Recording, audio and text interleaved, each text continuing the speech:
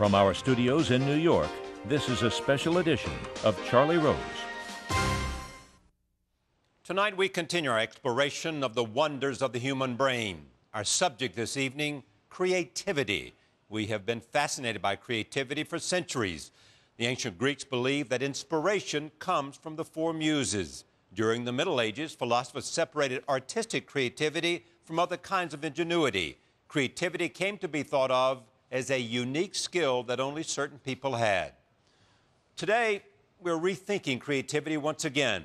We now know that creative talent is not only reserved for the special few, instead, it is a crucial part of every profession from acting to engineering.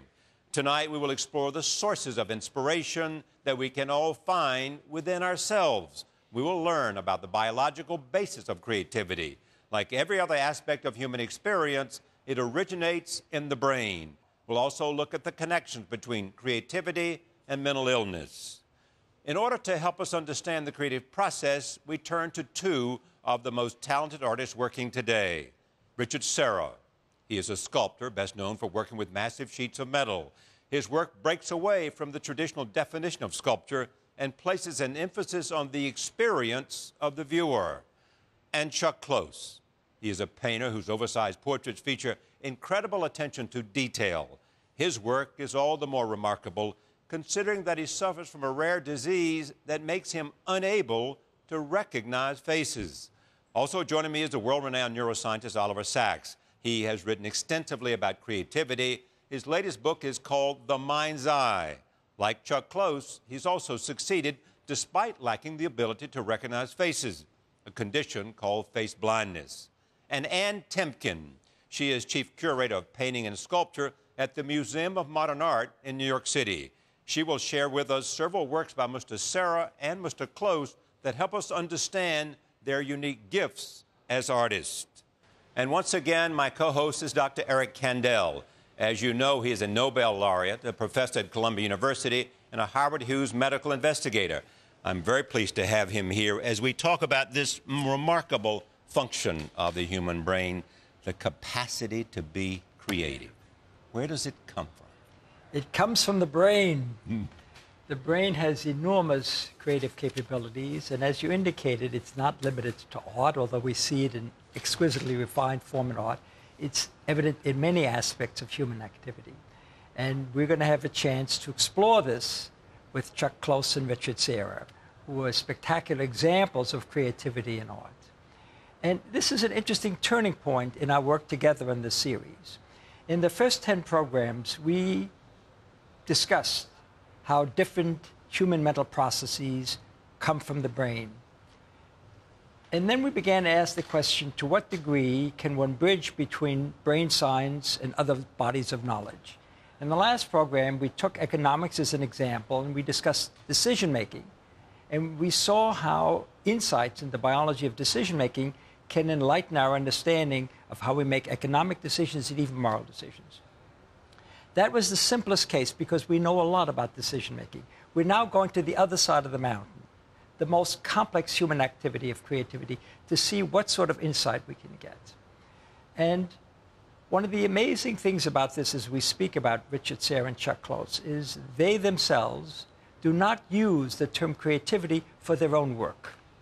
They see themselves as problem solvers. They see themselves very much as scientists do, that they define a particular area they want to work on, they develop techniques for approaching it, and as they reach one impasse or another, they try to solve this. Chuck Close, as you indicated, works on a much smaller scale than Richard Serra, but still gigantic portraits. Everybody works on a smaller scale than Richard Serra. but gigantic portraits, photorealistic portraits, but he focuses in on the little details on them. It's like a mosaic, pixel by pixel. He paints them in different colors in order to put the image together. Richard Serra works on an enormous scale, works in steel, works with ellipses and torques in which you walk along them and you walk between them. So he's also concerned, as you indicated, in the beholder's response, how people emotionally respond to the fact that they're walking into the unknown. If you now ask yourself, how did they develop their creative process? You see they developed it in very, very different ways. My guess is Richard Serra could have done other things besides being a sculptor. He, in fact, was a very good painter for a while. And he worked in a steel foundry when he was young, and he began to work with other materials and finally made these wonderful, gigantic scale uh, sculptures. Chuck Close took a very different approach. He is dyslexic, as you indicated, uh, and he felt that there were many things he couldn't do. The one thing he could do very well is to draw. And he particularly became interested in drawing and painting faces. Now, this is extremely interesting because he is face blind.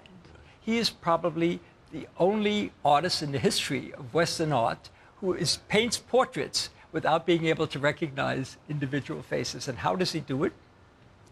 He takes a, a picture of it, so flattens it out, which is easier to deal with, and uh, Oliver Sacks will explain that to us. And then he pixelates it. He puts a grid over it, makes small squares out of it because he can deal with small forms much more easily than large forms. And he then puts all this together. So they take two very different approaches to the art. And Ann Temkin is going to explain to us how these two emerge out of the contemporary tradition of art. And Oliver Sacks is going to tell us something about the neurobiological underpinnings. Let me just give you an outline of that. Uh, we learn a lot from people who have compromised to their cognitive function. And we learn a lot from people like Chuck Close. In fact, it turns out that people with dyslexia are, can be quite creative. There's an enrichment of creativity among people who are dyslexic, just like there is an enrichment among people who have manic depressive disorder or autism. And from dyslexia, we get an insight into the brain regions involved. Dyslexia is a difficulty in reading and in arithmetic. That's represented in the left hemisphere of the brain. The left hemisphere is concerned with language, with logic, with orderly organization of ideas. The right hemisphere is thought to be concerned more with fantasy, with musicality, with imagination. And Hughlings Jackson, the founder of British neurology in the middle of the 19th century, had an idea that the two hemispheres of the brain, although they're symmetrical, are involved in different functions, and we know that's a fact.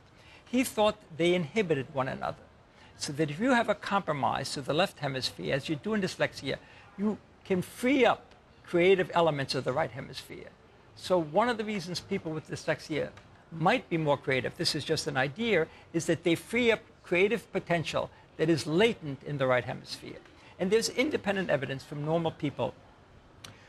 Kounios and Beeman, two young investigators taking different approaches, have found that if you solve a problem with an insight, an aha phenomenon, a eureka phenomenon, a part of the right hemisphere, the right superior temporal gyrus, lights up. So this is still very soft evidence, but we're beginning to focus in on aspects of the right hemisphere as being particularly important in creativity, and we'll see this as we discuss it more with Oliver Sacks. Creativity is not simply limited to artists. It can be scientists, it can be athletes, it can be business people, it can be. I think one of actors. the things you point out, you had on, you know, the coach of the Duke basketball team, and you ask him, how do you bring out creativity in your players? There's creativity involved in every aspect of life.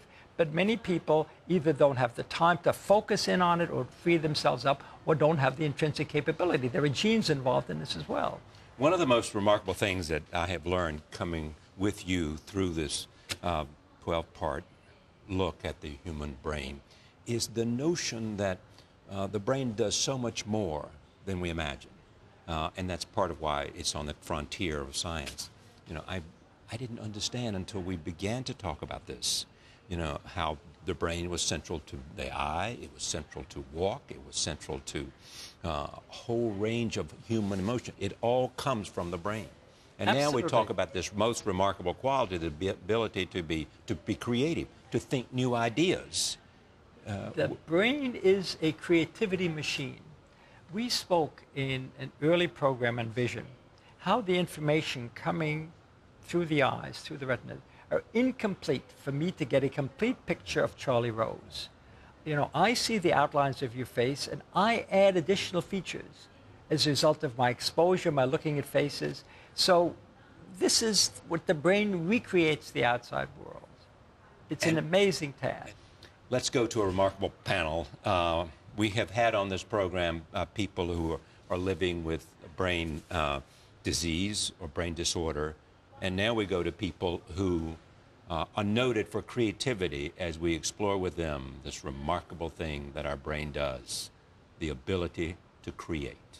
And help us understand Chuck and, and Richard in terms of, of creativity. Give us that sort of you know, historian's perspective. Well, in fact, although their work is so different one from the other, they're both products of a very similar environment in their formative years as artists.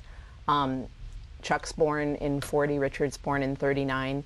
They both are becoming artists in their teens, in their early 20s, when abstract expressionism is the reigning dominant force in art. And this is, of course, the era of the bravado, virtuosic masterpiece kind of philosophy about making heroic art. Right. For them, both of them at Yale, together, by the way, in the early 1960s, right. there was an absolute reaction against that. As much as you were wanting, in part way, to emulate the majesty and the grandeur of a Jackson Pollock or a painting by Bill de Kooning, there was also an absolute need to get away from that. Is there an explanation for why there have been bursts of creativity at certain places at certain times? Mm.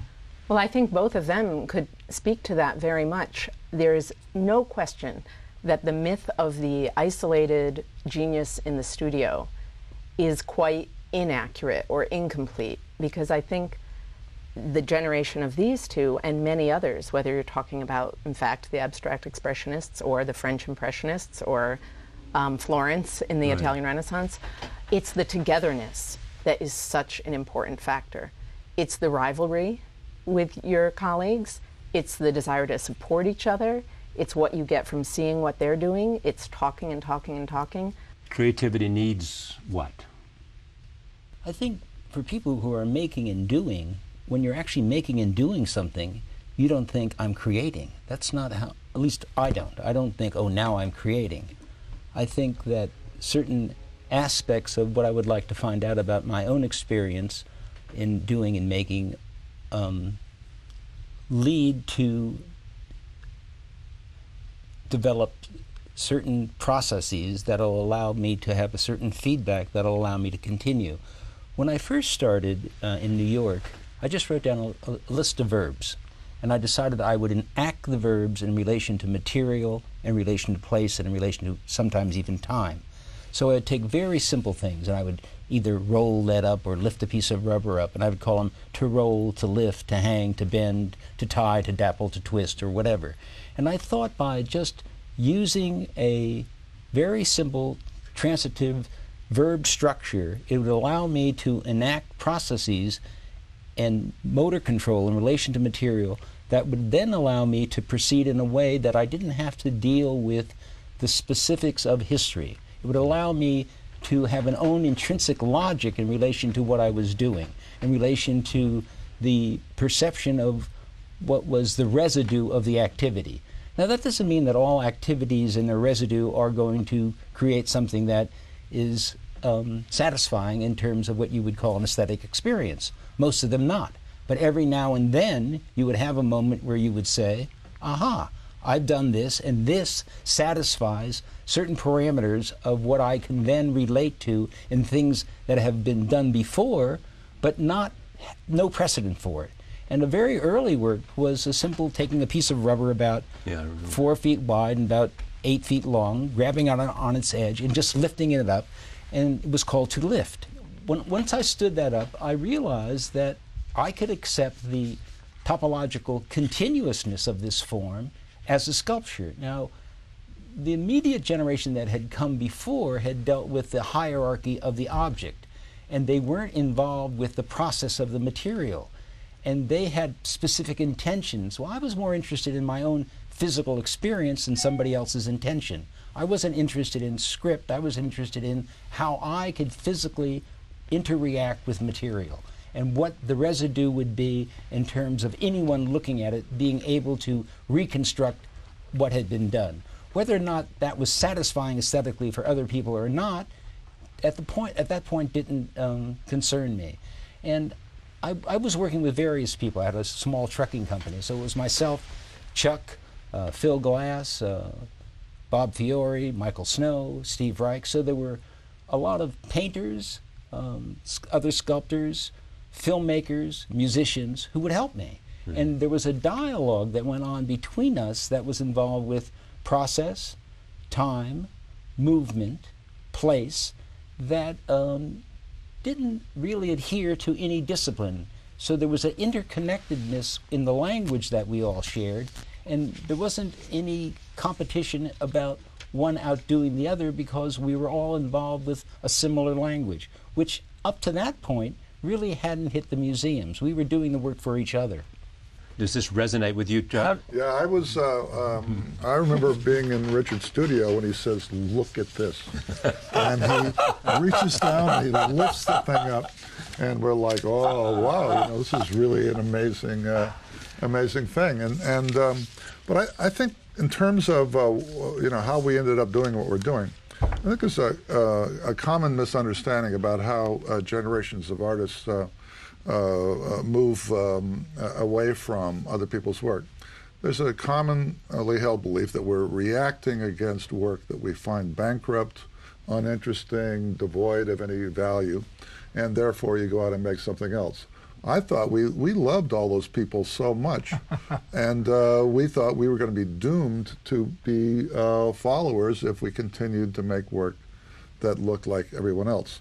Our generation really wanted to create something that was not familiar. And I think um, to make something that is unfamiliar is actually probably to make something new and to create something. To make something familiar is to deal with facts that have come before. And um, in watching the segments of these pro- this programs, uh, I didn't watch the last few, but I was struck that the passion of scientists trying to deal with something in relation to the given history of facts and then offering something new, I think is probably um, fairly consistent with how a lot of artists work. Eric? This is what struck me, and Ann also made this point. There, there must be a common sort of set of stages whereby people solve problems in what I other think people problem see. solving is not the issue. I think that's uh, problem creation is a Sorry, you're much absolutely more right. Selecting what is the interesting problem. You- I think what what we did was uh, try and find a way, you know, to back ourselves into our own individual corner and ask questions of ourselves that no one else's answers would fit. And then you then the search was uh, was on. But again, it was a choice not to do something. Ad Reinhardt was very important for me. I don't know if he was for you, but he his writings were.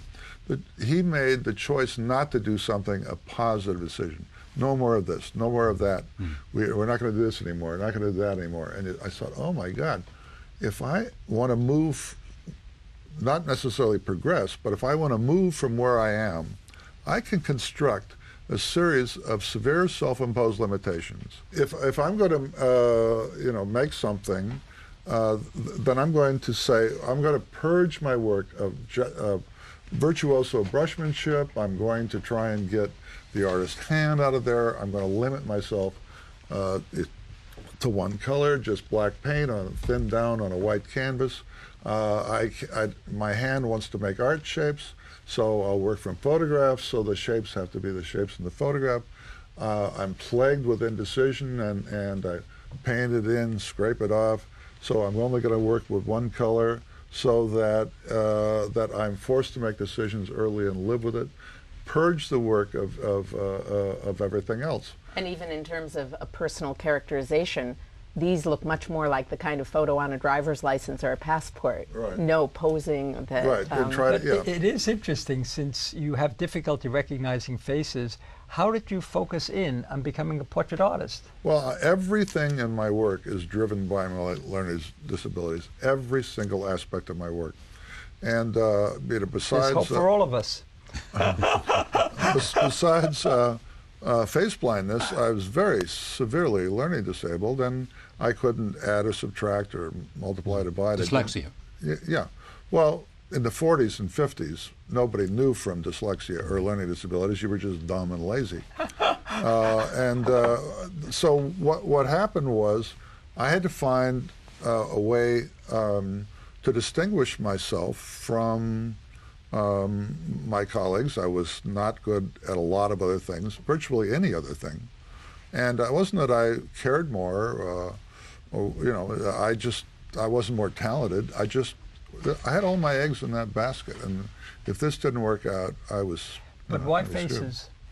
Well, um, you know, I'm really glad Cezanne painted apples, and I'm really glad Moran- Randy painted bottles. But, but I'm I, I don't want to do that, and uh, I am uh, since I'm face blind, I have I want to commit images to memory, uh, and uh, so Richard as a sculptor. Um, I could never in a million years be a sculptor. I'm totally flat. When I tried to make sculpture, I only worked on one side. So uh, uh, I, if, if I look at you and you move your head half an inch, it's a new head that I've never seen before. But if I, but if we take a photograph and flatten it out, I now affect a translation from one flat medium to another. And that's become more and more true for you. Yeah. As you've gotten older, it's become more and more true. This gentleman, Oliver, is also face blind and is also fantastically creative. Do you think So- that your face blindness in any way contributes to your creativity, Oliver? Um, well, it makes it necessary for me to observe voice and posture and movement and context. That's interesting. More, more precisely, It made you a better clinician in a way. perhaps so. Based on what we've talked about before in terms of the origins of creativity, um, where does it come from for you? Um, need. Uh, um, the uh, and I think not prime, perhaps need to communicate. In, uh, Nathaniel Hawthorne, in his preface to his Twice Told Tales, said that his uh, um, his art was not a communing of the soul with itself, but an attempt, however imperfect, to establish an intercourse with the world. And whether it is faces or sculptures or music or science, one um, one wants some sort of resonance. One wants an intercourse. One wants an exchange. if you It's a beholder's share in everything. Well, one thing that both artists' work shares to a really interesting extent for me, thinking about how different they are, is the priority on the viewer's experience. And I think Chuck's paintings, if we could look at the Roy Lichtenstein portrait, um, there is obviously a back and forth in these pictures between the abstract marks, the painting act, and the representation of somebody. And neither one is the whole experience. Part of the experience is the abstract circles and squares and funny shapes that you see in the hmm. detail. And Wonderful. then part of it is, oh, but here's this person. And for Chuck making it, but as much or more for the viewer looking at that painting, one is made to become aware of one's own perception and one's own use mm-hmm. of one's perception because you have to look at this painting up close to see the free abstraction mm-hmm. of the brushwork, of the shapes that are made, the color forms. And then you, you step back to see, oh, there's Roy Lichtenstein. Mm-hmm. And the process that you went through in making it is so embedded in the painting that as the viewer, all you the are almost made to recreate it. And both of us, all the evidence of its own Yes. making is right there in the work itself. The fact that there are incremental units, which is true from the very beginning, even the continuous tone paintings were made in incremental uh, units, is also driven by my learning disability. I was overwhelmed by the whole. I didn't have any. Uh, wh- how am I going to make a head? How am I going to make a nose? I, it's too overwhelming. Uh, it makes me too anxious. Uh, but if I break it down into a lot of little decisions, lots of. This was a coping mechanism that I used all the way through uh, through school in everything that I did. Uh, take something uh, overwhelming and, and anxiety provoking and make it into little, not so scary decisions and have it be a positive uh, experience because every time I did completed a square, I didn't have to wait till the end to get pleasure. I could solve one little problem at a time, and the pleasure came with, with, with each with each one of those. And this is um, uh, this was uh, very, um, you know, reassuring. is that each one is slightly different. I mean, the number of decisions that are involved, and you described that you painstakingly work at each of them to see that the colors matched and the forms matched. It's really quite amazing. Well, an interesting thing about this painting was I could have done it with a diagonal grid or with a horizontal vertical grid. If I'd made it with a diagonal grid, his nose would have been a ski jump. Now, the iconography would have stayed exactly the same. It would have been Roy, and, and it would have, they would have looked the same, especially reduced. But I decided that I wanted to do a horizontal vertical grid so your eye would splash down those shapes like water over rocks on a waterfall. And even though the nose would be the same in either case, it was an entirely different experience. And uh, that's, you know, you're trying, I'm an orchestrator of experiences. That's what I try to do. I mean, I think it's very rare for a painter or a sculptor to be as explicit about that um, interest in the viewer's experience. But I mean, Richard, for you to imagine, it's the opposite. You didn't get any step by step gratification at all. And for you to be able to go from an idea in your head to what it is when these things are complete that will make the viewer's experience be what it is you are envisioning it to be. Can you at all describe that? Um, I went from ver- very simple things. I went from um, conical shapes, which were inverted, that would allow shapes to lean away from you, or you turn one upside down, they would lean toward you, um, to then dealing with um, torque shapes. And it evolved into a series of torqued ellipses and torque passageways where the viewer is experiencing a space um, that he's implicated in that is somewhat startling in that they have no um, previous information that would allow them to understand the complexity of a curve leaning toward you and away from you uh, in its simultaneity as you move through. And it gave me a big opening into developing a language. I think what is interesting about this is that one generally thinks of the uh, the beholder share, the observer's participation in the art, as a moderately stationary experience. Now, certainly with certain conventional sculpture, you walk around a bit, but yours opened up a completely new response. This is really a you know a long walk that you take in some of these, uh, and the emotion changes as you move through it. I'm as interested in not just the material of the steel, but the void. So the steel is just a vessel uh, that allows one to understand one's physical relation to the space. In the way that this room is Mm-hmm. round, we know it in one particular way, and it's centered with this table. If it's rectilinear and this was a rectilinear table, we would know each other's response very, very differently. Those kinds of things have always interested me. Since I was a kid, walking one way on the beach and walking backward the other way completely confounded me. And uh, those very simple things, being in a telephone booth as differentiating from being in a, in a football stadium, I could never quite get back together in my head. Yeah, at one point I was building a work uh, for Jasper Johns in his studio, and I was splashing lead, and I'd splashed some lead against the wall, and Jasper asked me if I would build a piece for him in his studio, and and I had a piece of lead with me, and I thought, why don't I just cast off this piece of lead? I'll shove it in the corner, and and when I put it in the corner, Stuck. I realized that oh, the corner is holding the sheet of lead up, and I thought, I wonder.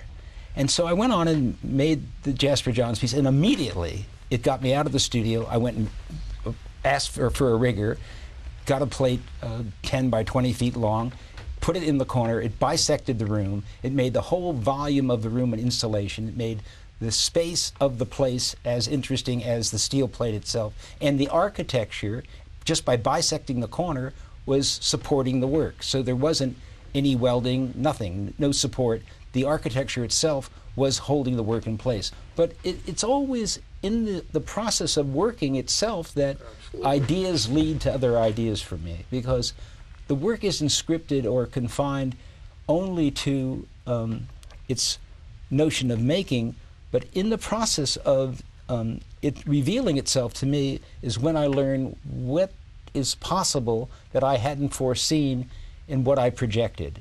And um, one doesn't want to become a slave to one's own precedents, and the way to get around that is to constantly stay aware and ask questions about what it is I'm looking at and what it is I don't understand. And oftentimes, when pieces are coming together, you see things that you could not have imagined, and they push you in a different direction. Same for you, Joe. This is very important.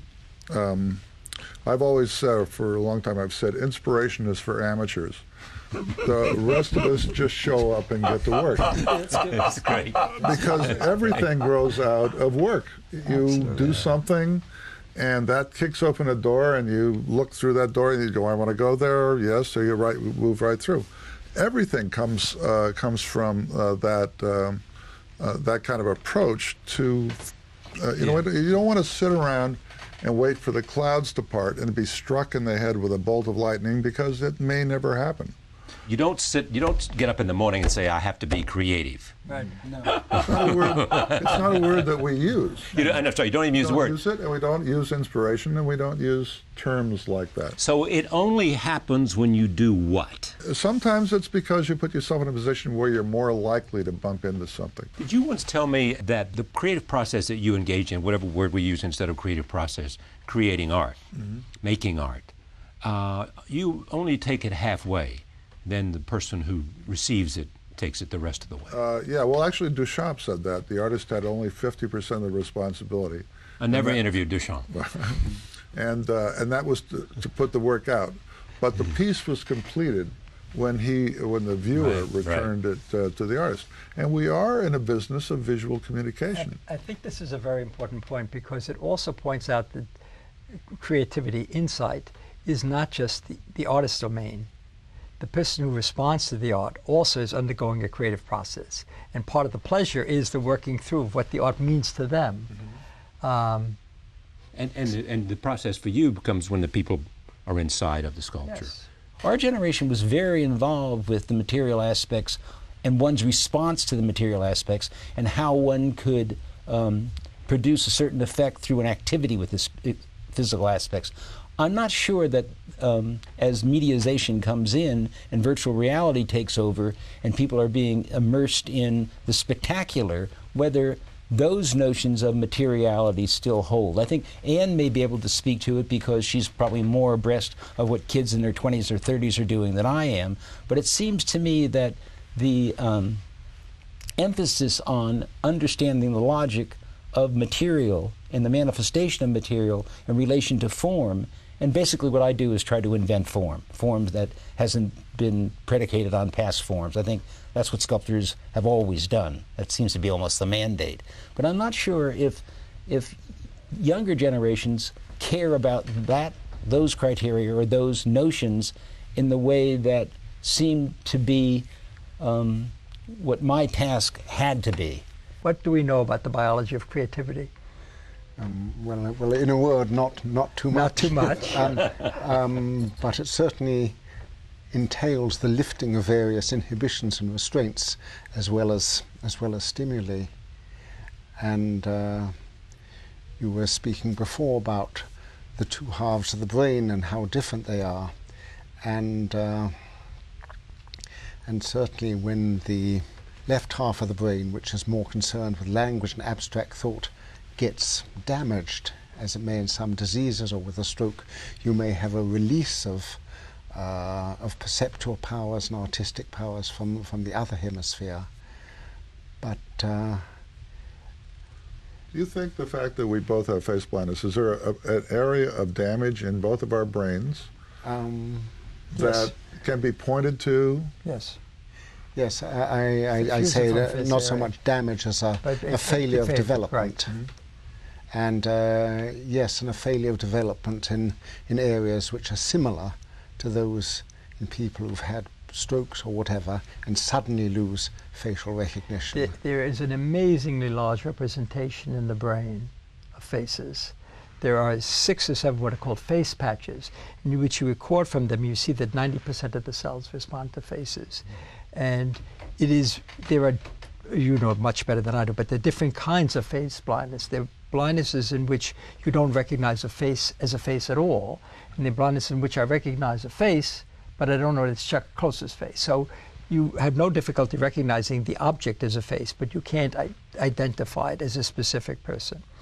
Uh, and the areas that are involved in that have, have been recognized. These areas don't respond if you just show two dots for an eye and a nose in between. It has to be surrounded by a circle, so you get the sort of the, the feeling of an actual face being there. And as in caricature, the more you exaggerate the face, the more dramatic the cells respond. So if you push the eyes apart or you bring them together, the cells respond more dramatically. And this is one of the reasons probably why expressionism in art is so effective.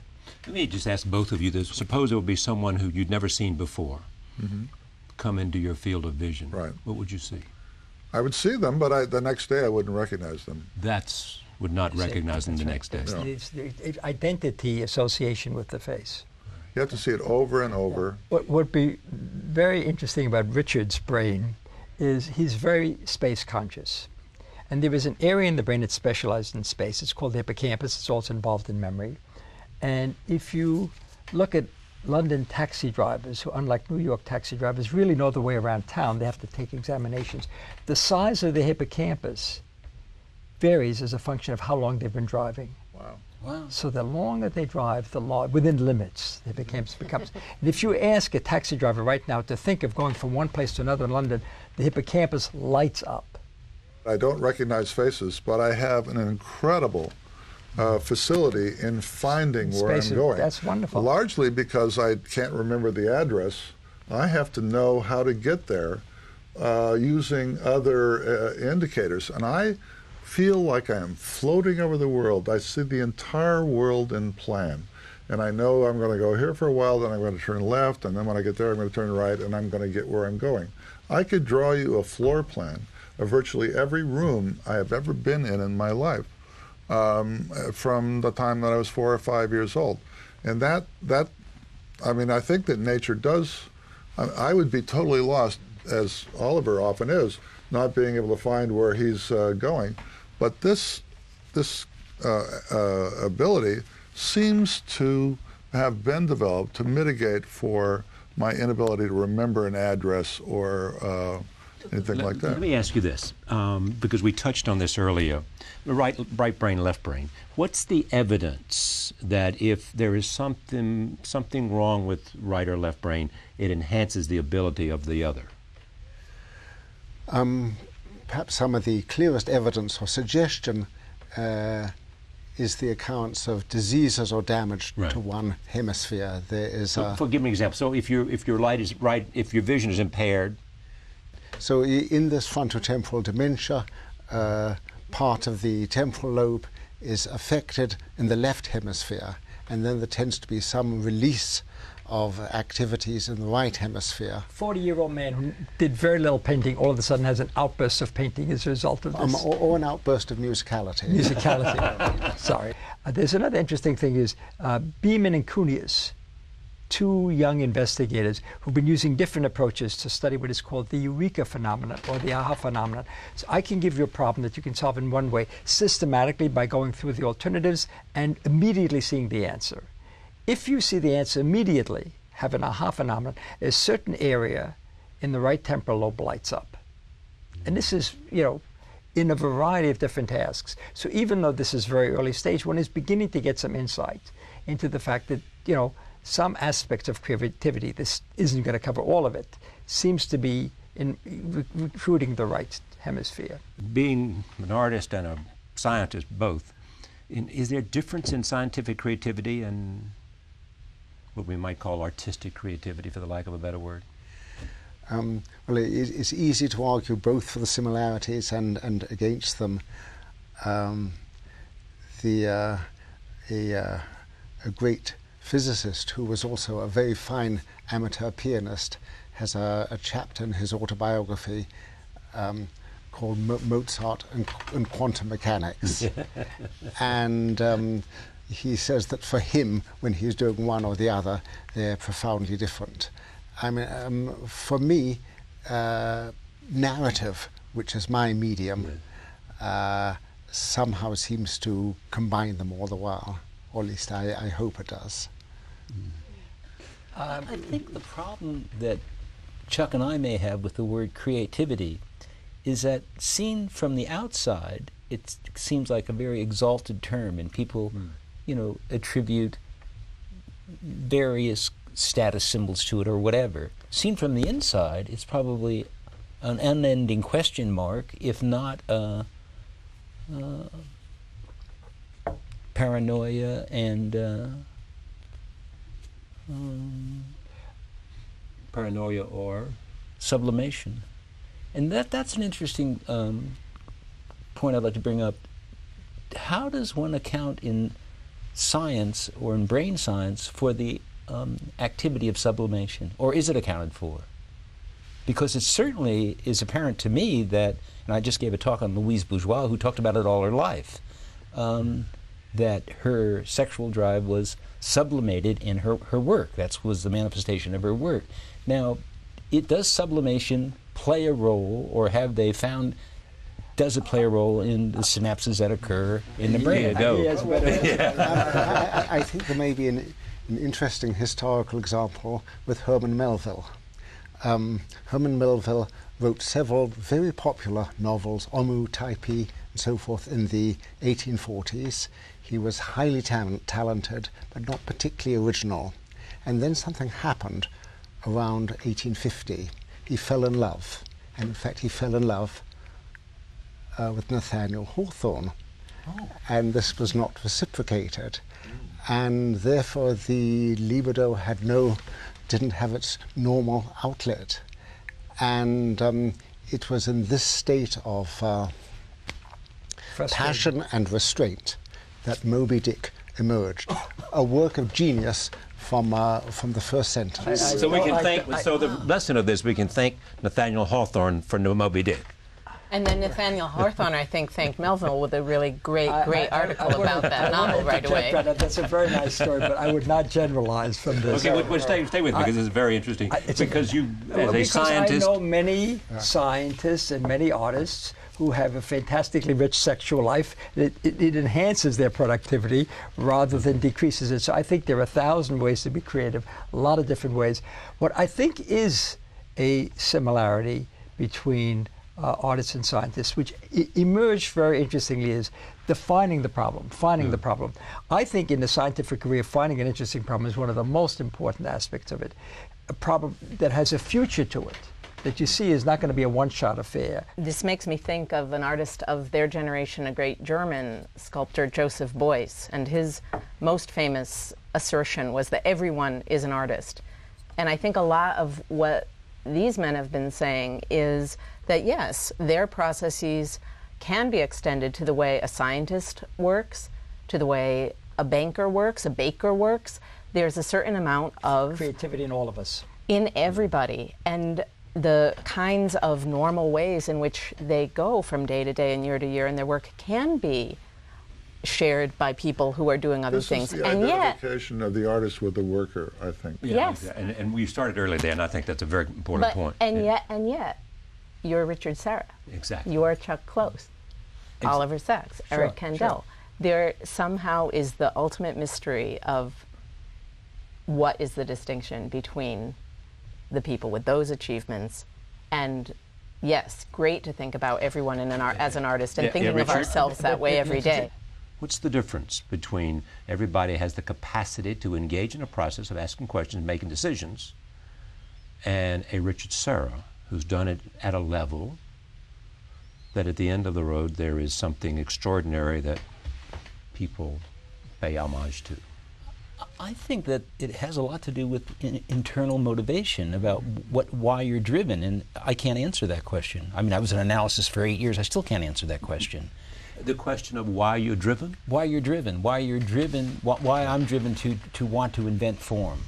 I, I can't answer Or that why I work so hard or whatever. but there are a lot of there Yeah. are Cho- Cho- uh, go ahead. thousands of different Oliver? artists Um, one drive for me uh, depends on the fact that I feel like I cannot appropriate experience or come to terms with it completely until it is rendered into language. So I have to write. How do I know what I think unless I read what I write? Audrey. Beautiful. That was Audrey. Beautiful. Beautiful. Yep. Right? Yeah. So what's the takeaway on creativity here? The takeaway is um, for me, there's a lot we can know by um, circumstance, behavior, psychology, and so on. Way, way more we can't know, Absolutely. can't understand. Chuck, At what's this the point. takeaway? I mean, I've known Richard for a long time, but I've never seen him more excited than when he's explaining an idea. Oh, I know. When he goes, when he, you know, I've been with you when you've taken some lead and rolled it up and shoved it into sand and would explain to me how this bisects the uh, the the uh, shape and and um, you know you light up you light up in a way and your your desire to share artists are very generous people uh, we're also narcissistic and self-involved but we uh, the, there is Unlike this, the rest of us. um, it, there is a desire to share this, and there's a little bit of the child in all of us that's saying, "Look at me, I am here, I am somebody. Let me take you on a little voyage. I'm going to show you something. I'm going to take you somewhere. I'll make an experience for you, and uh, and I, I hope you enjoy it." I'll ask you a different question, Oliver. What what what is it you most want to understand as a scientist and as a person who engages in a narrative form about the act of creating and creativity? Uh, I want to understand how the new can come into being, uh, and uh, this this um, uh, again to uh, I want to give give a, a concrete example. A little bit was said earlier about imitation being bad. I think imitation may be an essential preliminary to any achievement. And for example, with a uh, uh, a poet like Pope, like Alexander Pope, his first published poems were called imitations of English poets, and um, he is first concerned to to get the technique or to develop the language, as, as you said, Richard, and only when it's developed, he then infuses it with his imagination. Um, but you can't have anything new until a great deal has become automatic and second nature. But um, it is, uh, uh, I think, the spontaneous spontaneity and novelty are the most challenging problems in the world. When we were at Yale, We The- being you and Richard. yeah, uh, and you know there were so many other interesting people there at the same time. Um, we unabashedly worked through other people's work. We were students, and we. Uh, I mean, you could always tell who Richard was into because all the pages of the book were glued together with paint. Because his books would be spread in his studio, and he would work through, you know, Soutine. He worked through everybody, and we knew that we were doing that as an exercise. We were not appropriating. And I think what Oliver is saying is very true. You get your chops by uh, by digesting other people's creativity, and that will put you in a position where once you leave it alone, you're going to be able to find something more I- personal. If, if you can leave it alone, you may be stuck in imitation and virtuosity for your whole I life. think that's a problem with appropriation as a prime modus operandi. Um, very but- hard but, to. But um, and it may not occur early in life. Say with someone like Wagner, um, all his early works, Rienzi and Lohengrin, they sound a bit like Rossini, like Meyerbeer, like Mendelssohn.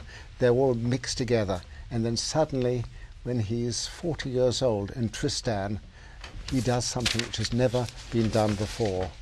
Uh, in, in particular, a, um, a dominant seventh in music always resolves, but he opens the overture to Tristan with a dominant seventh, which is the resolution. This sounds tiny, but it was unprecedented, and this for him opened the door to music which I, I hate, but which is But original you- and you- powerful. You make a point, and that is that in addition to having ideas, selecting a problem, you have to have competence.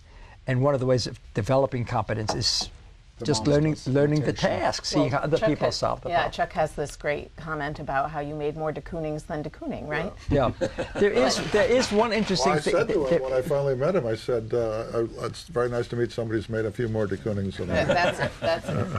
But I think what it says is that it's not just newness; it's greatness. Because unless the Yes, newness yes. contains within it what came before, it's not going to achieve that stature. yeah, And yeah. systems and limitations free up intuition. When I was free to do anything I wanted to do, I did the same things over and over and over.